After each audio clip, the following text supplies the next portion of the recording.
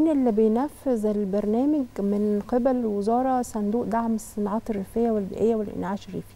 ده صندوق تم إنشاؤه في 1956 بقانون وهو وحدة إدارية تتبع وزارة التضامن. الهدف من الصندوق أو الصندوق بيقوم على إيه؟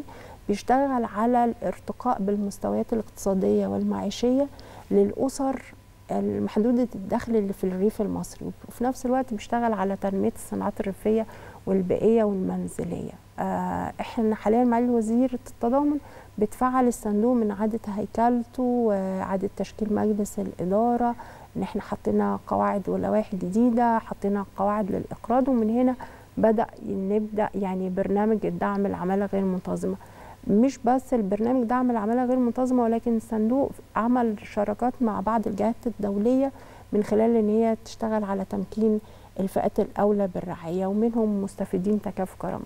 ده الصندوق أحد الأذرع التمويلية للوزارة في مجال التمكين الاقتصادي ولكن عندنا كمان برامج تانية عندنا برنامج فرصة وده بيشتغل على التمكين الاقتصادي لمستفيدين تكافؤ الكرامه أو الدعم النقدي إن هو بيحاول يشتغل عليهم عشان يخرجهم من دايرة الفقر وال...